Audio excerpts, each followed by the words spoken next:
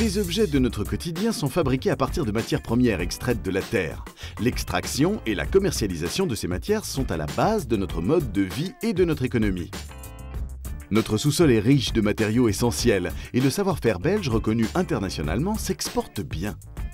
On retrouve dans notre sous-sol des roches ornementales comme le marbre ou la pierre bleue, des granulats de type gravier ou sable, alors que d'autres matières sont directement transformées par exemple en chaux ou en briques. L'industrie extractive est une spécialité wallonne et donc un atout majeur dans le développement économique wallon. L'industrie extractive fait souvent parler d'elle par son impact environnemental. Pourtant, depuis 2006, le secteur est réellement impliqué dans la réduction des émissions de gaz à effet de serre et l'amélioration de l'efficacité énergétique.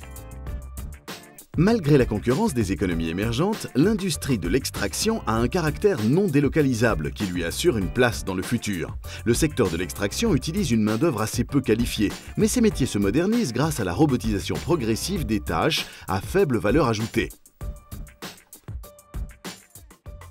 La demande de produits issus de l'extraction est directement liée à l'évolution de la conjoncture économique.